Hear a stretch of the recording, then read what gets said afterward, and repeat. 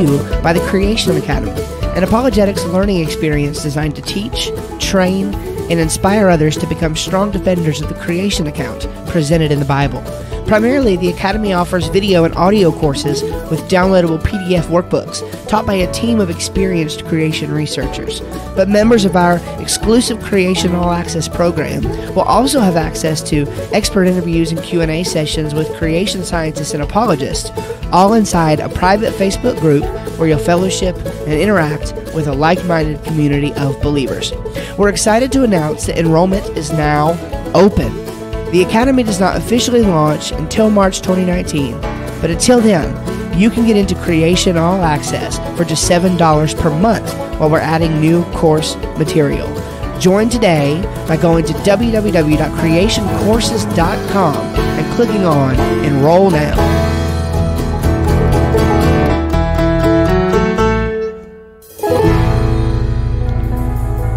Right, thanks for tuning in this week. You're listening to The Steve Schramm Show. We're training up Christians to become confident and passionate servants of Jesus so they can grow in their walk with God and share their faith more persuasively. That is what we want to help you do. And of course, to do that, we give you some helpful tools, some helpful advice and techniques that you can use when you are sharing your faith with others. Over the past few weeks, we've been discussing something called polemical theology. Polemical theology. And this is a literary kind of lens through which we can look at and understand the Hebrew Bible, or what many know as the Old Testament. And what we have found is that polemical theology has to do with the use of ancient Near Eastern thoughts, um, motifs, and ideas utilized by Yahweh and the biblical authors to, in a way, satirize or to taunt the false religionists and the false gods of the ancient Near Eastern cultures which surround Israel. And so that is, in a nutshell, what polemical theology is. And we're not going to rehash what we talked about over the past few weeks. You can go back to lessons 76 and 77 to get those. In those, we talked about the correct use of polemical theology and also some possible misuse of polemical theology. So today we're going to dive right in and close out this series talking about what I believe is the warranted extent of polemical theology. The warranted extent, and then we're going to give you some takeaways from the entire series. Now, don't forget to go ahead and download this week's lesson handout. It's the same lesson handout that we had for the past few weeks.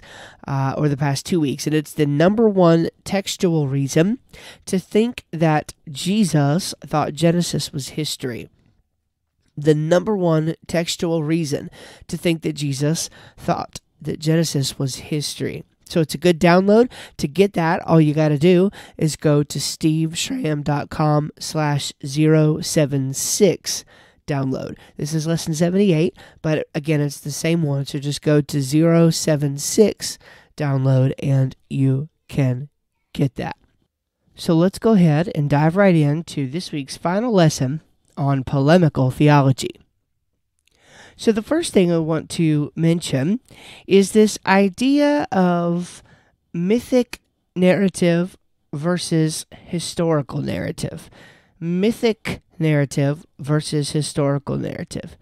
Now, this is a distinction made by Currid in the book.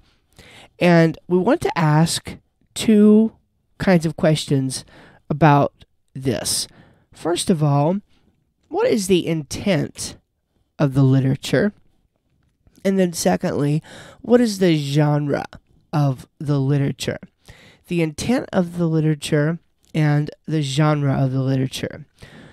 So, regarding the intent, while Genesis 1 and 2 are written, again, according to Currid, in Hebrew historical narrative, all ANE creation myths are written in what he calls mythic narrative. That is, they have a linear forward movement, but they're purely ahistorical, and they deal chiefly with the primordial realm of the gods. So, while there are certainly some similarities that cannot be dismissed, nor can they be denied, the differences are really so striking and profound that they can't be explained just by a simple Hebrew cleansing of particular myths. And, uh, you know, this is something that could probably be most easily seen if you were comparing a couple of these things side by side. It would become quite obvious just looking at them uh, side by side next to each other what the intent of one of them was versus the other. Almost without question, it appears, prima facie anyway, that the intent of Genesis is to communicate accurate historical information. I was browsing Facebook last night and somebody had asked a question in one of the apologetics type groups I follow about using the Big Bang as an apologetics tool, even if you are someone who subscribes to young age creationism.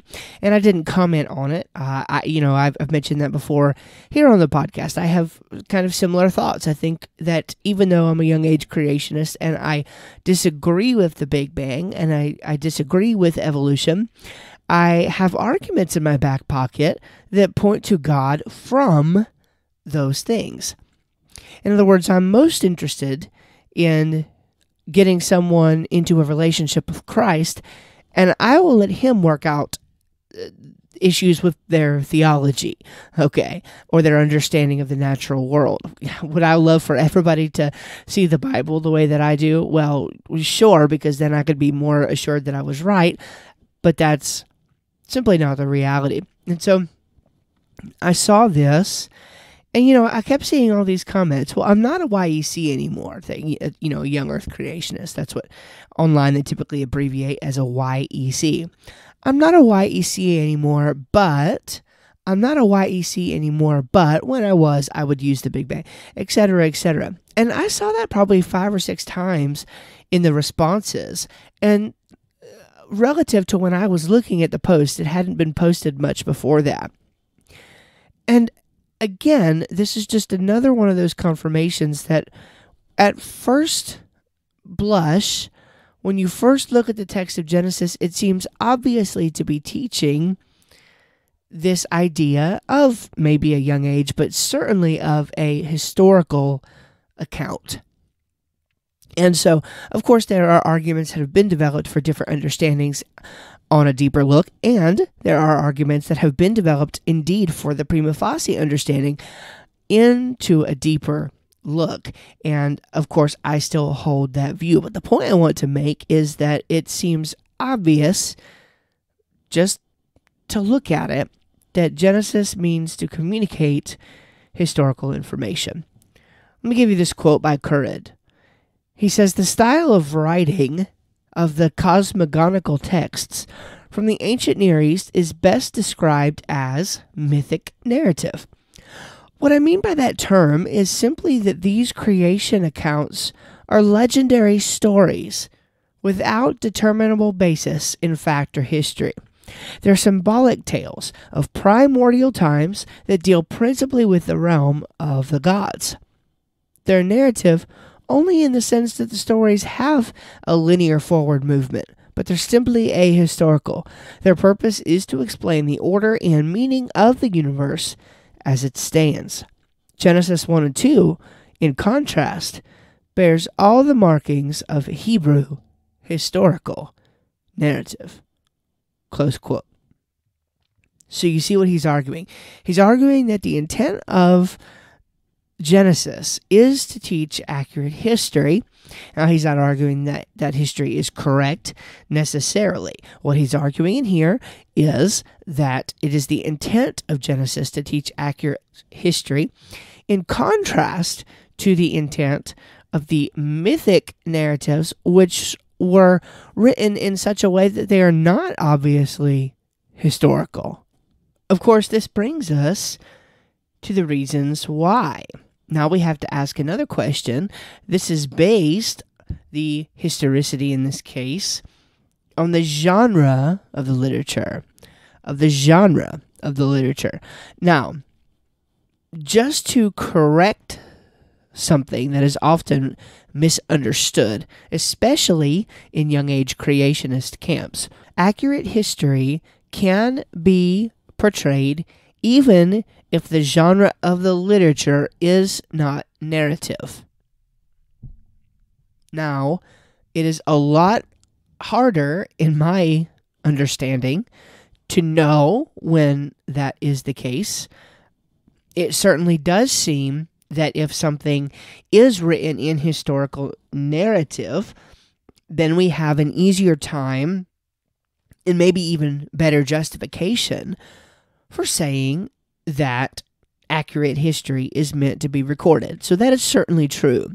But let's not fall into the idea that un uh, excuse me that, that literature that is not written as, as narrative is a historical necessarily because that's not true okay so so the issue of genre and historicity are related but one does not directly depend on the other now, all of that said, I mentioned in that last quote of Currid's that uh, he considers, much like many other Hebrew scholars do, and Old Testament scholars, that Genesis 1 and 2 are indeed written in Hebrew historical narrative. And so here's one of the challenges you can't define the genre of a biblical text, uh, of a Hebrew text, based uh, upon the genre of an extra biblical text. Let me say that again. So you can't define the genre of a Hebrew text based on the genre of an extra biblical text. In fact, in the book, Currid, he cites uh, Hoffmeier, but he says that unless there is good evidence to think that the text were indeed commensurate, you can't determine the genre of one based on another. So, a text that is presented as historical narrative in Hebrew, which is is highly lacking in folkloric and mythic kinds of details, should be understood as historical. And again, that's just assessing information, much like we talked about. You know, we have to assess information about the Hebrews based on their worldview. There are things that the Hebrews' worldview does not entail that are entailed by the mythic worldviews which surrounded them. And so, while there was no doubt pagan worship and everything happening within the Hebrew culture. And so some of that worldview was certainly muddled in their practice. We've got no reason to think, especially as staunchly monotheistic as the biblical writers are, we have no reason to think that there's anything in the scriptures which are an outgrowth of those faulty worldviews. We just don't have any reason to think that. It's too separate. So the same thing is happening here with the genre question. If we have something that indeed looks like Hebrew historical narrative, now again, I'm not arguing for that here necessarily because uh, we don't have time. That's a different podcast.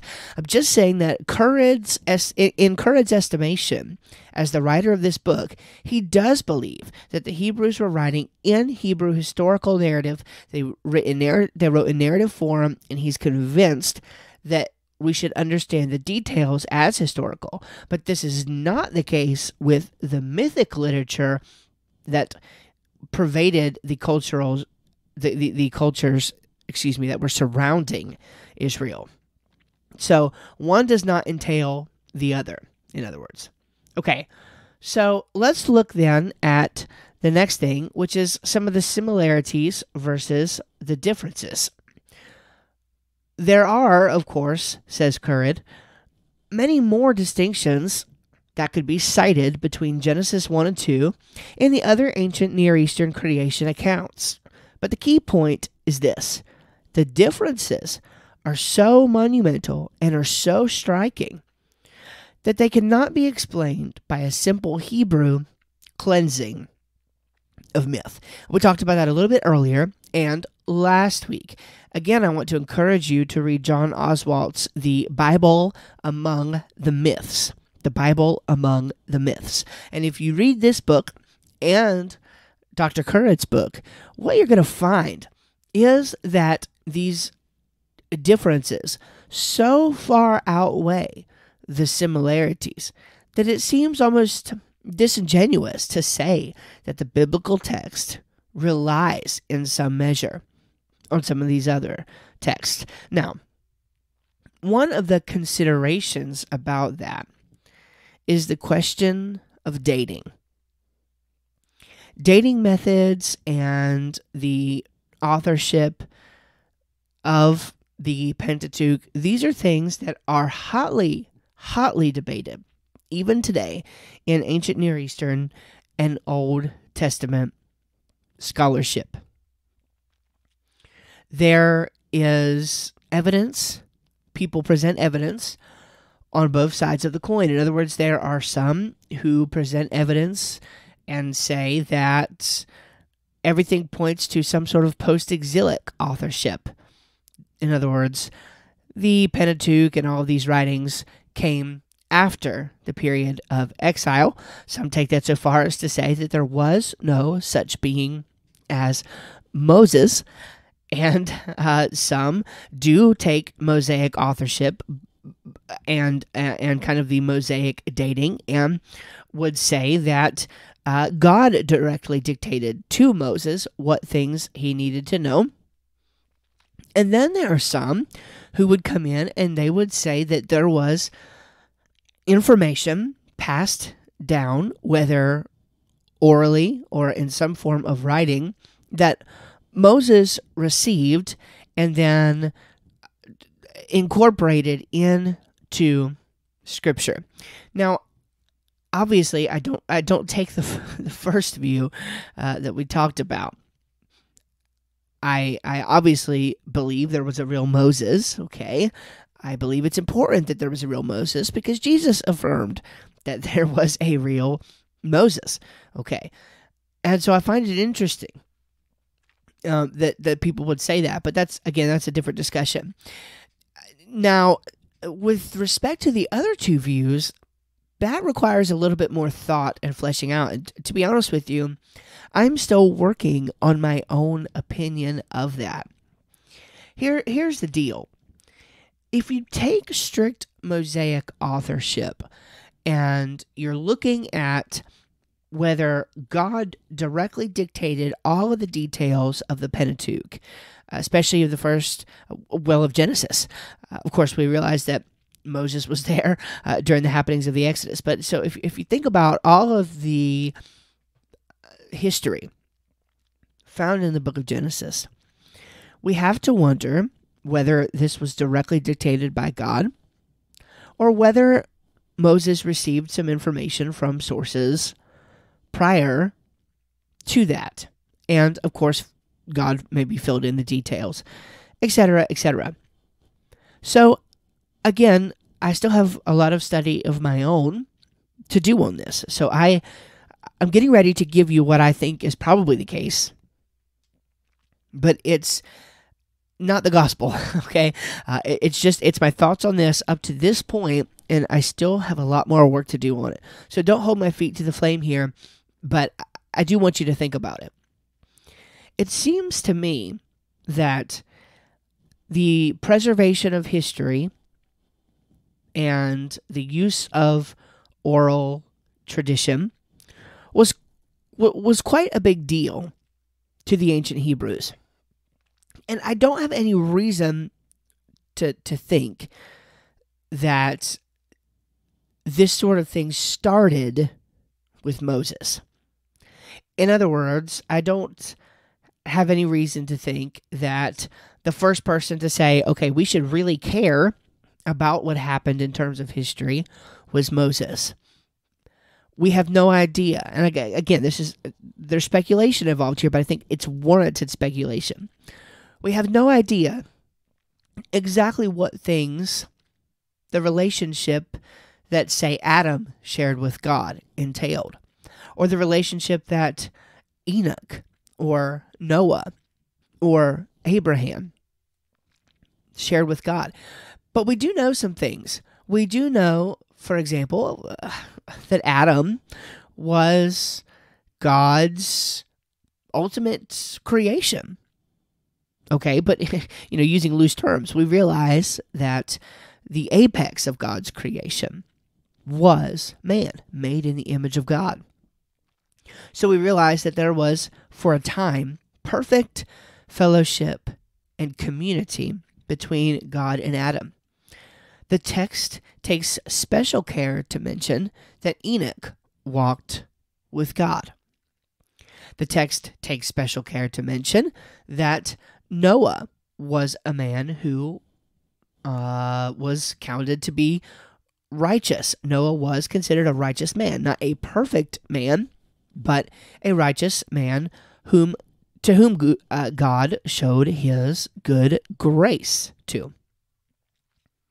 We know that Adam, or excuse me, not Adam, but Abram, and then of course Abraham, we realize that there was certainly a special relationship there of blessing. And I think I don't have exactly where I could point you to, but we certainly have information in Genesis with God communicating to Abraham that it is important to think about future generations and the preservation uh, and the knowledge of the things of the world.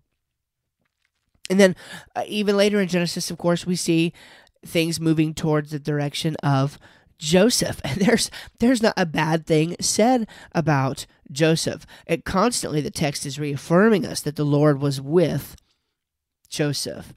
And so here is what I'm getting at. And especially if you consider that in what some would call the you know primordial history, which I don't like to use that language, but if you look at Genesis 1 through 11 basically, in those chapters you have mankind living for much longer than after the flood. And again, there's reasons for that. We've talked about that other times. But if you take all of these things into consideration in the communication and things of that nature, and then you also consider events like the Tower of Babel, where, uh, depending on your view of that, most, if not all, of the population of the world was in a, a fairly central location, and opportunities abounded for distortions and myths and things like that to spread. And indeed, we see all of these different cultures arising from out of that scene, cultures that the Hebrews are said to borrow from, for example, like the Canaanites, etc. When we look at this, we find in the biblical story reason to think that Moses was at the end of the line of a long line of oral tradition. Of course, the oral tradition continued, but but until God filled in the gaps, so to speak, we've got every reason to think that Noah, or, or, or excuse me, that Moses had information that was passed down through the centuries about the true nature of reality, the true history of the world. And yes, Moses was trained up and learned in the ways of the Egyptians. That is absolutely true. But he was also raised in his childhood by his Hebrew mother. Now, I realize that the question is not what could God have done or what could have been the case, but what actually happened. And a lot of these dating methods, and again, this is the issue, if there was no oral tradition being passed down. And if the dating methods are giving us accurate information, then Moses wrote his accounts after some of these other mythical accounts were written. And so this is where that dependence, that authorship dependence kind of idea comes in. Now, to be sure, there are some who take the view that Moses was writing the true history, even though it was being dictated to him directly from God, which I think is totally possible, and that he didn't receive it from any kind of oral information. And so it just simply means that these other distortions were written down before the true account. So that view is possible too. However, given the other just internal evidence that I suggested, and I didn't even give specific verses and things like that, but uh, and that could that could be done, I'm sure.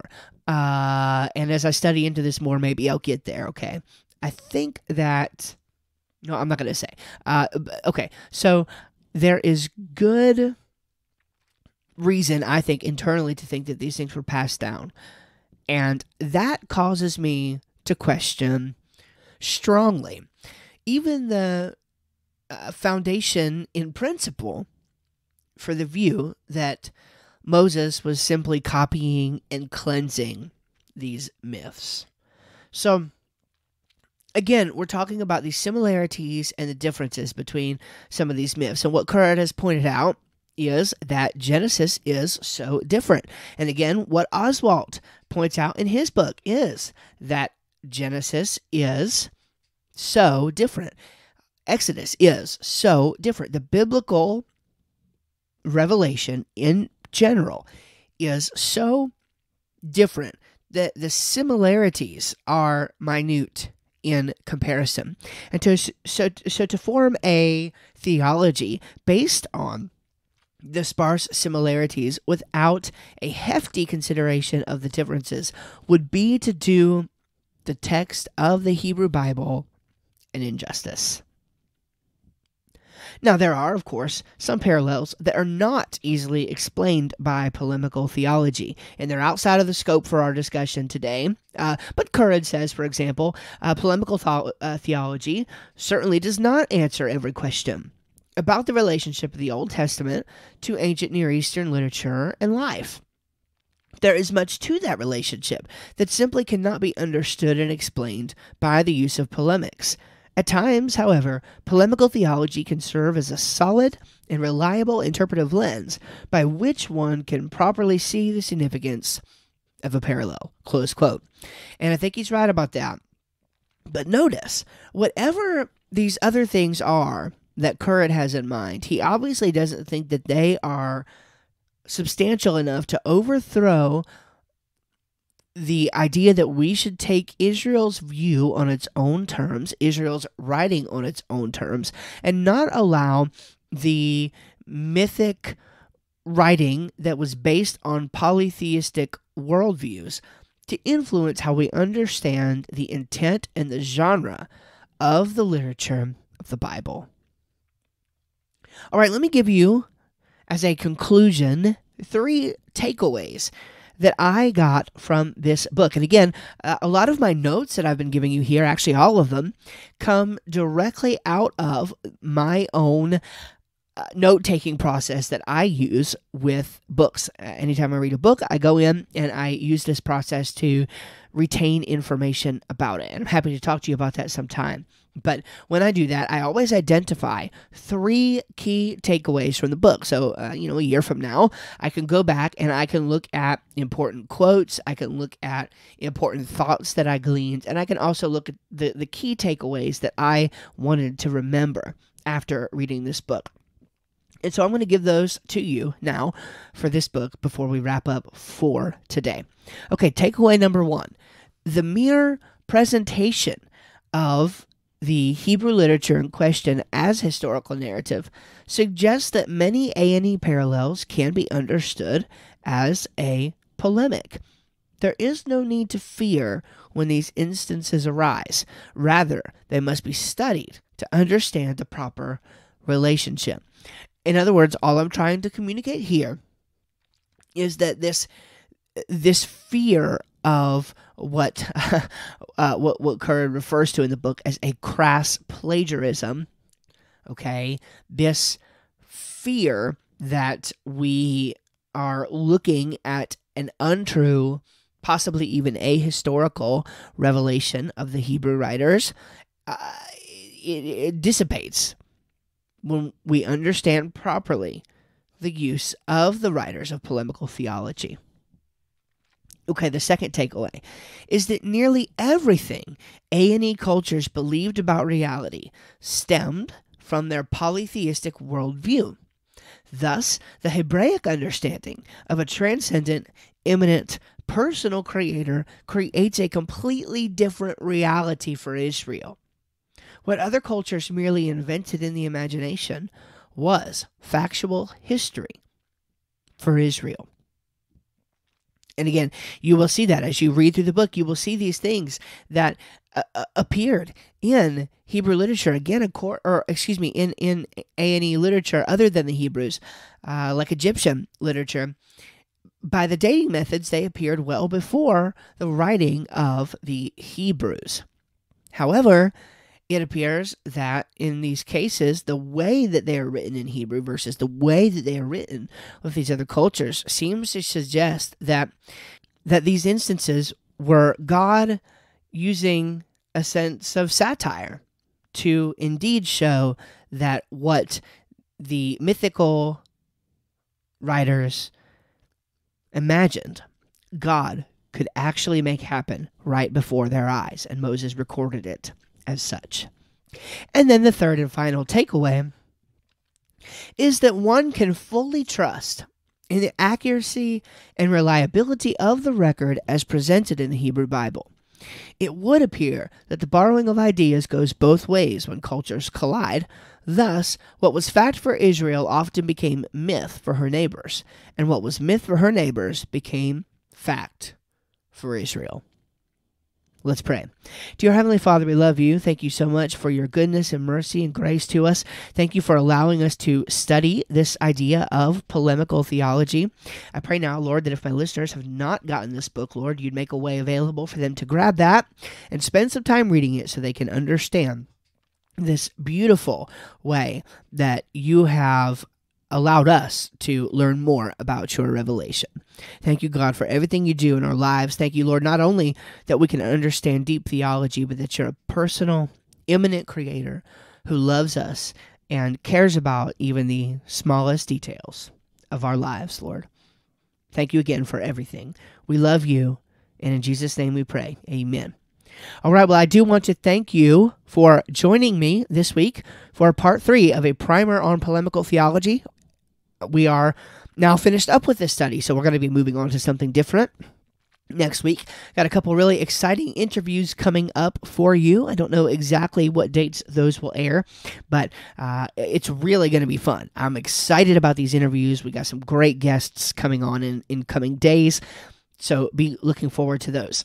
Please don't forget to go and download the free lesson handout for this lesson. It's the number one textual reason to think that Jesus thought Genesis was history. And you can get that again by going to steveschramm.com slash 076 download. This is lesson 78, but again, lesson 76, 77, and 78 all have the same handout. It's the number one textual reason to think that Jesus thought Genesis was history. You can get it at steveschramm.com slash 076 download. Okay? I hope you have a great week. Love you. We'll see you here next time on the show. Bye bye.